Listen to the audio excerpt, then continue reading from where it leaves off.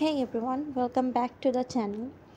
And today I want to briefly talk about something that is getting a lot of attention in the generative AI space MCP or Model Context Protocol.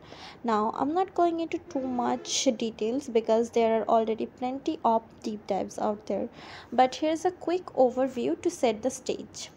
MCP or Model Context Protocol is essentially a way for generative AI models to interact with external tools and systems in a structured manner.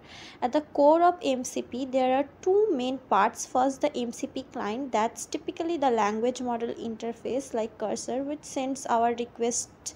Then there's the MCP server, which receives those requests, process or fetches the necessary information and sends back structured response now when it comes to how the client and server communicate there are a couple of key methods. One is stdio and the other one is sse stdio is typically used when the mcp server is running on the same machine as the client. It's rely on the server's standard input and output stream to exchange messages and this allows you to execute commands directly on the server which is especially useful for running scripts or other executable processes locally. And on the other hand sse or server sent events is used when the client and server are communicating remotely.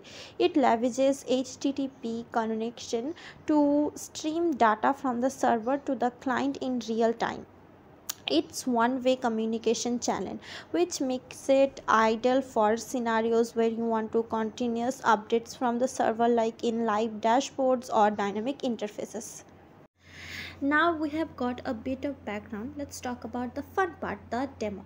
We are going to create a simple gen ai application using langflow. If you haven't heard about it before langflow is a visual tool that makes it super easy to build generative ai apps.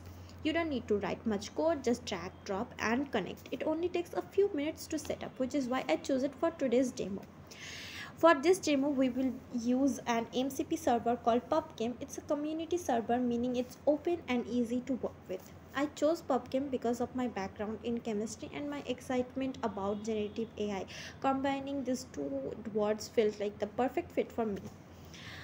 The PubChem server lets you pull detailed and well structured information about chemical compounds and drugs. Don't worry, this is purely curiosity and science, not for misuse think about it the chemical we come across in daily life like those medicines skincare product or even food additives often have complex name pubchem help us to decode them and learn what they really are it's fascinating to see the science behind everyday now you might wonder why not just ask an LLM directly for this information?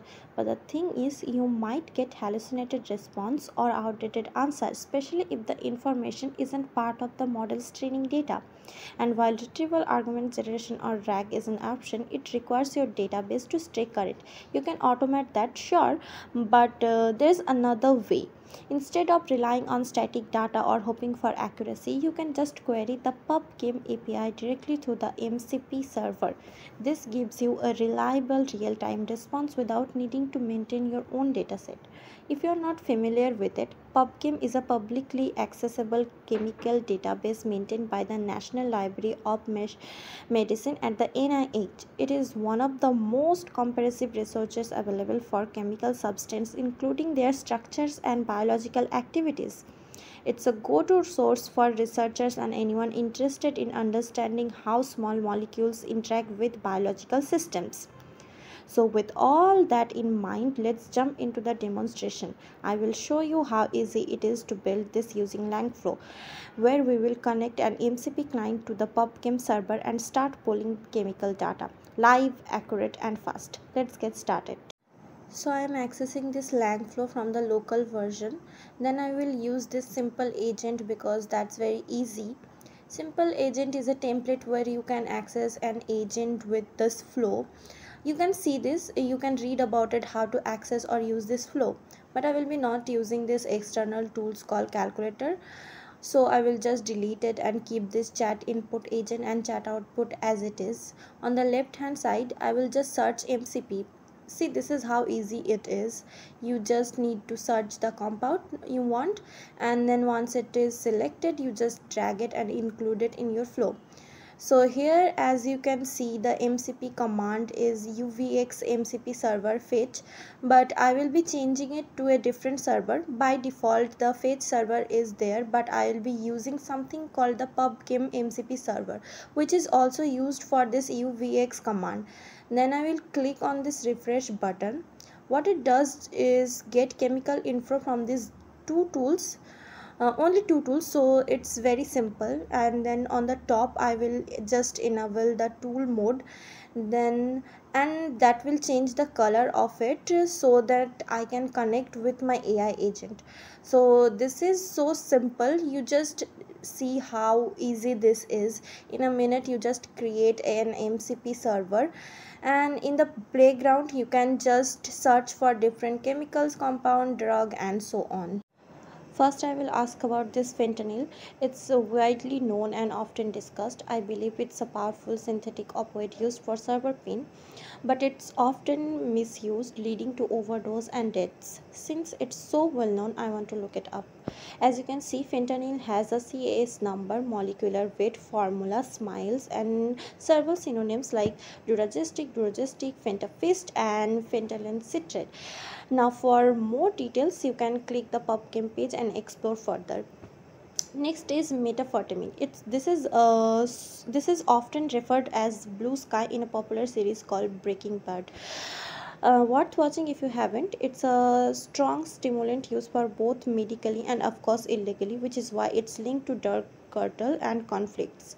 Its structure and effect are well documented especially its high potential for addiction and abuse. There's a lot of useful information you can pull it from.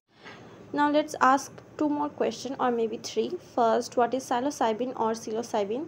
Uh, there are multiple pronunciation. I have heard it's found in magic mushrooms. I thought it was synthetic but maybe not. It's known for its psychoactive effects and mood changes and there's ongoing research in mental health and neuroscience. Next is uh, acetaminophen. You have probably heard of it. It's the commonly named for paracetamol a widely used over the counter painkiller. I included here as a simple example unlike the others like phentermine, methamphetamine or psilocybin which are often associated with misuse. You can also check out ascorbic acid which is the vitamin C. There you go. As you can see it uh, it's really easy to connect an MCP server with Langflow and build a Gen AI system for the quick prototyping or experiments. Thanks for watching. See you soon.